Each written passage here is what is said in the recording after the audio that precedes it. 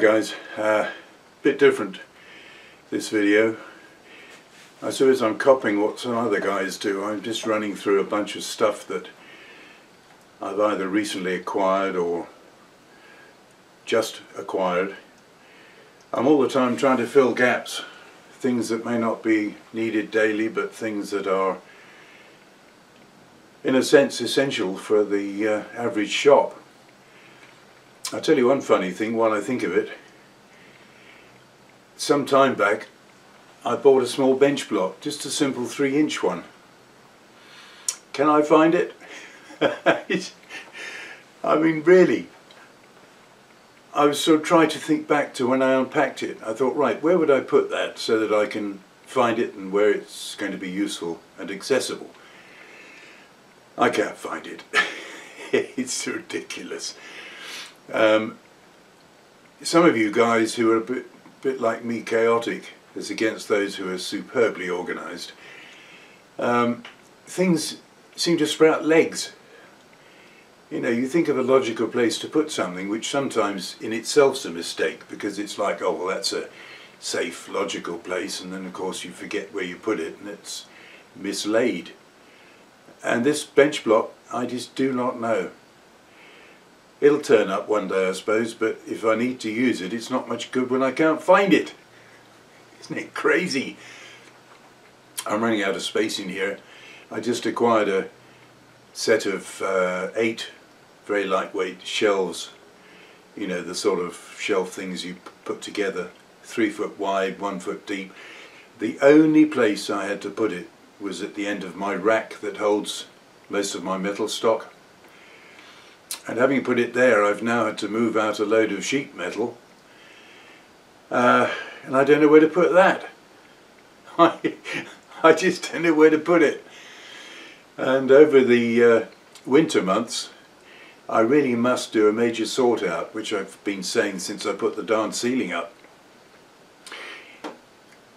Anyway, the uh, bits and pieces that I've discussed, will discuss, uh, I've had a bit of a spending spree because I recently sold an Argentinian 1911. Very nice collectible pistol. But uh, I decided it was time to move that on, so that released some funds. And these days, when I get some spare funds, they go into the shop, all the time trying to make it better. So the things that I've covered, and I'm probably repeating myself on one or two things that are mentioned in the various clips. But uh, let me see what I got here.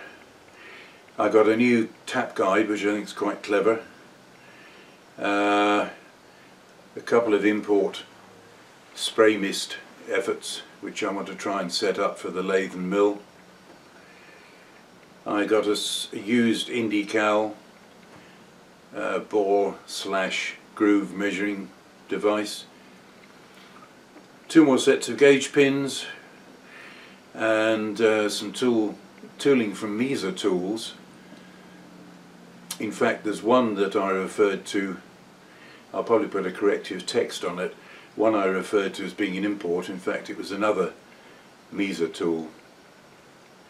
Uh, boring head insert, yes that was Mesa. Um, I was going to show you the bench block, but not today. Um, I got a Mighty Mag, which I've put a, an indicator on. I've set that up on the drill press for occasional use when I want very precise depth measuring. I bought a new height gauge about two months ago. Uh, I've only got a very small surface plate. I may probably have to try and get a a granite plate just to give me something bigger, although heaven knows where it'll be put. It'll probably be put away somewhere, and when I need it, it'll go onto the welding table. um, wavy parallels, just got those today. And I got another thread repair file. So any, anyway, it's a selection of stuff. Might bore the hell out of you, but I think most of the items are fairly interesting much as anything so you can see what this old fart's up to. Uh, talking of which, Uh, the acute sharpening is slightly on hold because I've got several maintenance jobs to do and well in fact you won't see no you can't you can't see from that angle but my old chuck which is shown up on numerous videos I'm waiting for a replacement uh, six inch Bison and it's got the uh, well I call them removable jaws which of course any jaws are, but these are the ones with the two cap screws on each jaw. I forget the right term for that. And I've got to sort out a back plate. I couldn't find one anywhere that was going to suit me, even one that I could rebore and rethread. This lathe's got a funny uh, spindle thread. It's one and three quarter by six TPI. And a lot of other spindles are 8 TPI in different diameters. So I want to try and use this back plate and at the moment, and again I may have mentioned this somewhere else, uh, the register on it is about 8, 6 or 8 thou larger than what I need for the new chuck. So with some care and great care, uh, I've got a back plate which is threaded for the spindle. So we'll hope to do a changeover on that, which I'll probably document and then try and get back to the acute sharpening stuff and see where we go. I've got enough to keep me busy for the next two months I should think at least, if not more. Alright, here we go. Here's something I found on eBay which looked interesting. I wasn't quite sure how it was going to work out from the picture but actually so far it seems to be pretty darn good for a specific purpose. And that is acting as a tap guide. Very often I start things off in the uh, mill or the drill press chuck. But this looked interesting. I think it's come all the way from India. It was about 20 bucks and the shipping was ridiculously low. I think it was about 6 bucks shipping Uh, it came DHL via USPS. Anyway, there it is. You've got this piece with two inspection slots on the side. Uh, you probably can see in profile there. I'm just trying to make sure it's visible. There's a V, transverse V.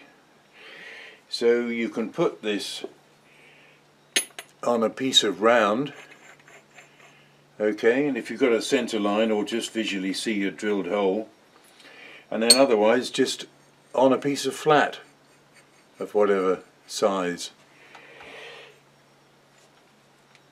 So you've got a very a very well fitting sliding fit piston and barrel for want of a better expression.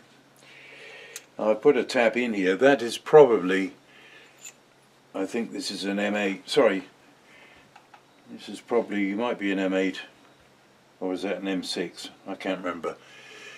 Um, but the thing is for very very small taps, that's what I wanted it for, where you want absolute truth into the uh, hole at least for the first few turns. In fact you could probably use this for the whole depth. So once you've got it on your workpiece and uh, set up visually. Get it nice and solid on the work. And then turn away. I haven't tried it yet but I'm so far quite impressed. The uh, sliding fit is pretty good. It's probably very little slop at all. It's probably about a thou and a half something like that. Pretty good. And it also comes if I undo that just to take the uh, tap out make sure you can see what I'm doing. And then inside you've got a simple collet which is covered in oil at the moment.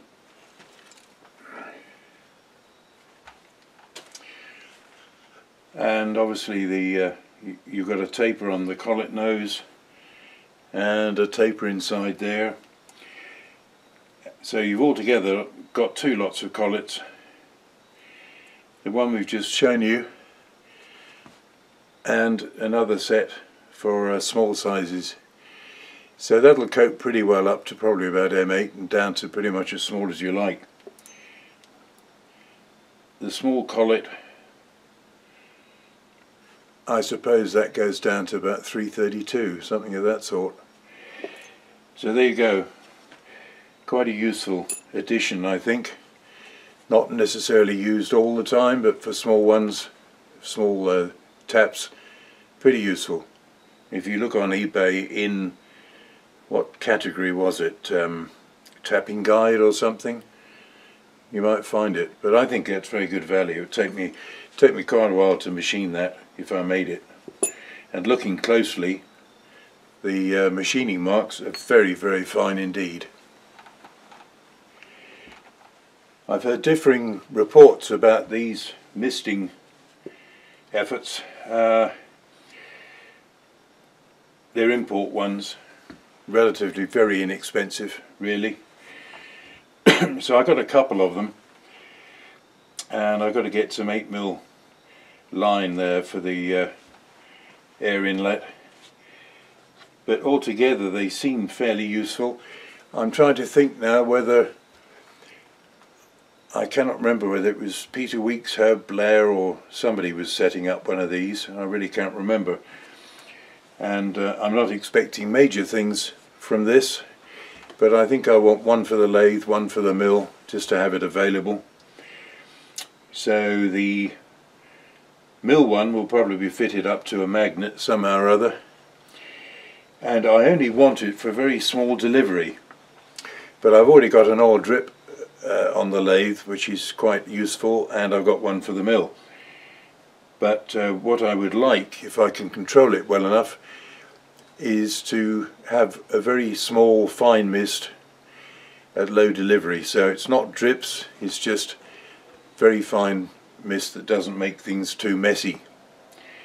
And uh, whether it'll work with my sulfur based oil or whether I'll have to use some uh, soluble oil I'm not sure. Somebody may have ideas on that. Anyway that's something which I have to play with later on on the long list of to do one other recent uh, score off eBay was this Indycal I've just put my own indicator on there. And uh, it's got the uh, lockable dovetail. Quite pleased to find it. I don't know looking at the prices I suppose 35 bucks wasn't out of the way. Uh, obviously it's previously owned. And all the bits that matter seem to be there except except these little pieces here for um, I think those are for the groove measurement because we're look looking at a way to accurately check a bore or groove. And this piece and I don't know whether it will focus. Can you see that little guy it's a short version of this one. If I can pick it up and not drop it. So it's a short version of that fella.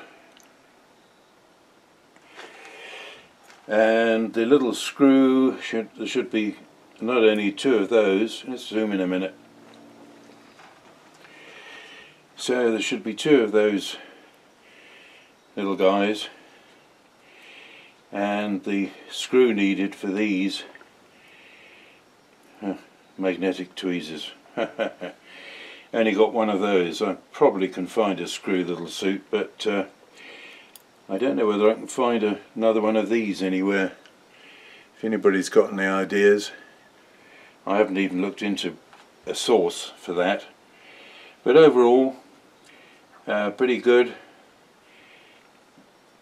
and as those who use these know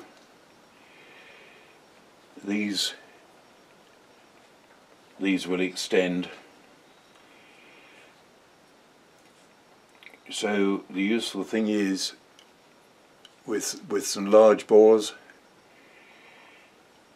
you can deal with quite a oops out of frame again naughty you can use some uh, get to some pretty large sizes I know from when I used one that somebody else had. It took a bit of setting up.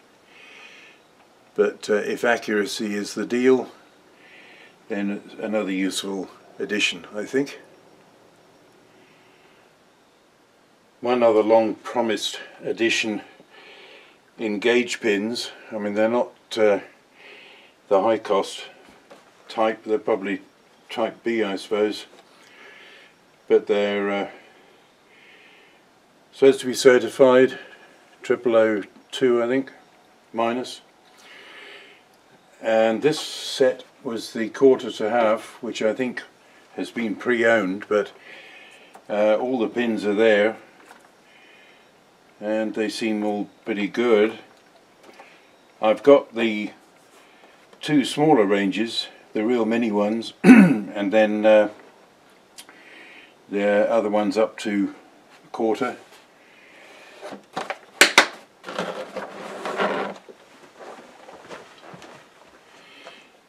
And then the final set, I don't think I should go much bigger.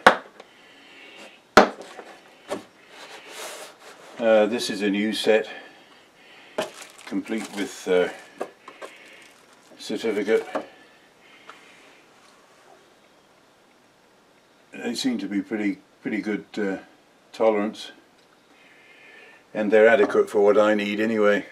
This takes me up to uh, 625. Any bigger ones, I suppose one day I might get the bigger set up to an inch. But uh, quite pleased with that. It's it, you know it's one of those things that every shop really needs, but how often do you use them? Not exactly every day. But one of my small ones got me out of trouble recently. I shouldn't really be getting any more tooling, seeing as I've got masses really. I've got lots of uh, high-speed steel chunks, but I got these from Mesa Tools um, I must have got something from them because they put a card in, but I thought these might add to the armory. This is a insert boring bar, which is which is quite good for length. Although if I was going much deeper, I'd probably put in a bigger one. And then uh, a new thread cutting insert holder. And this one it's a right hand. I didn't get a left hand as well. But uh, this one will probably serve for awkward corners and I did try it for facing too. Quite handy. So I think that's got some uses I may get one of their others eventually, whoops, I keep, you know what, when I'm zoomed in too much, I keep losing the stuff. Um, so that just extends my choice. That's the main reason for getting them.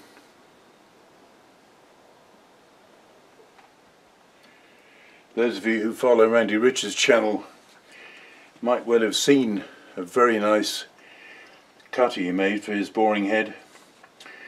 Very similar sort of profile to that. He he showed the uh, machining he made it out of a piece of 4140 he had. But I actually got this before I'd seen his effort on on the one he made. But uh, this is an import. But handy to have uh, for the larger bores that I can stretch out to with the smallish boring head just something else to give choice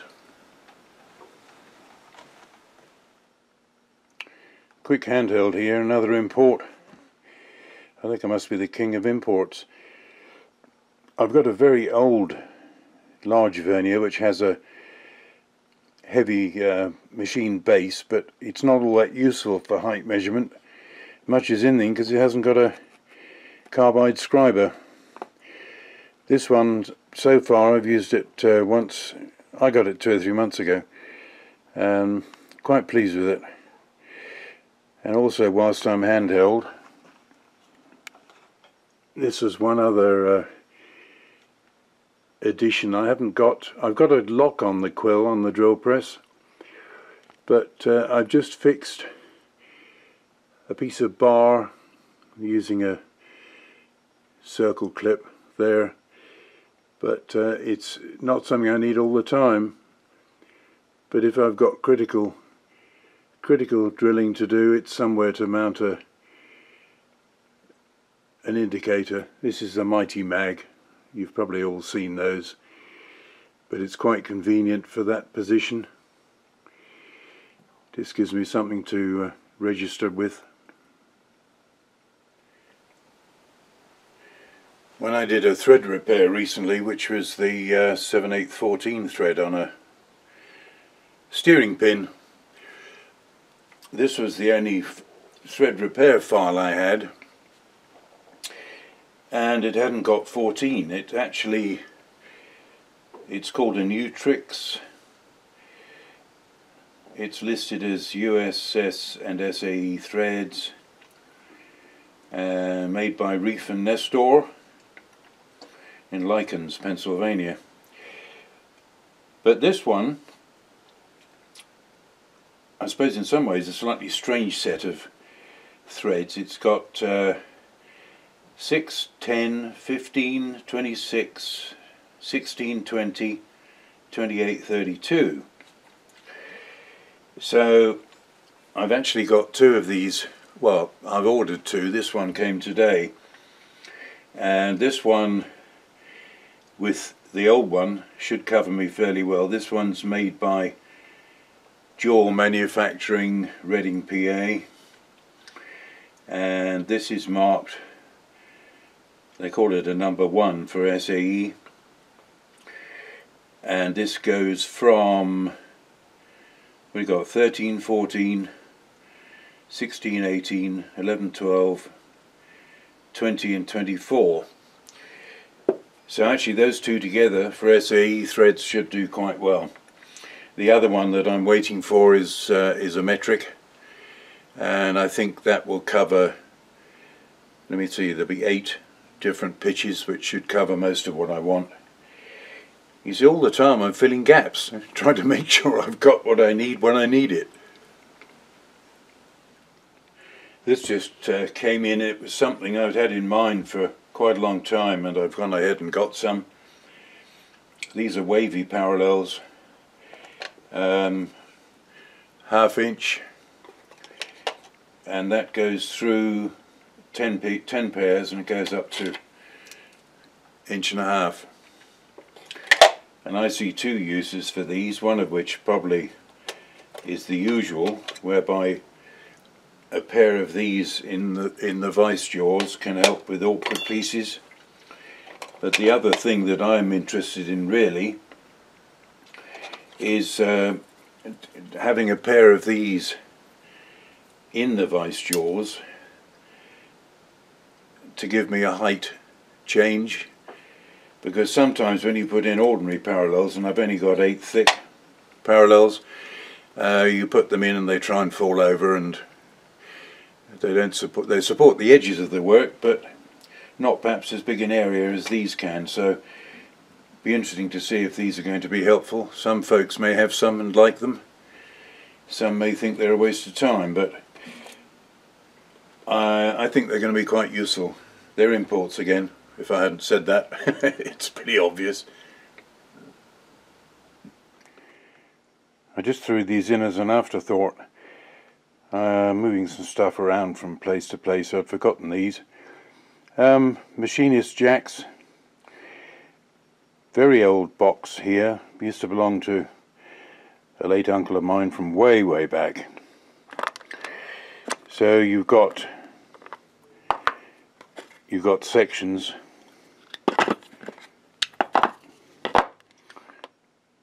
so you can get quite a few differences in height. The uh, cup sort of wobble top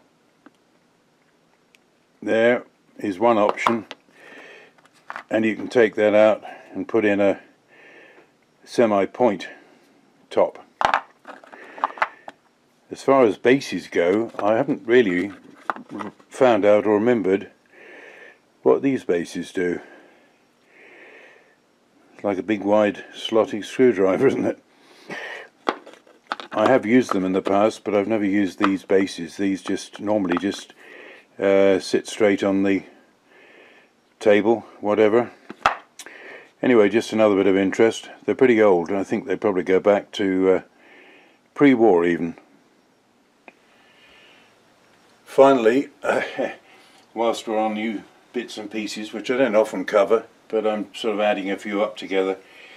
Um, I got this R8 holder for ER40. Probably don't need to go as large as the R40, but I decided to go that route for two reasons. Partly so I could get, um, I've got a one inch collet here and my R8 collet series, I think it stops at, uh, how far does it go now? 7 eighths, maybe the largest. Yeah, I don't think it goes any further than that. But I have had odd occasions where I want to get something inch and uh, that's quite a nice holder. And not long ago I also got um, an R8 to what was it, R8 to number 2 Morse I think it was. I've got one or two old mills that are on a Morse just to you know again give more choice really. Anyway that's probably it for the bits and pieces for the time being. Alright well thanks for watching that lot if you got through to the end here. Um, I'll hopefully be back fairly soon with some other something and we'll see you soon. Thanks for watching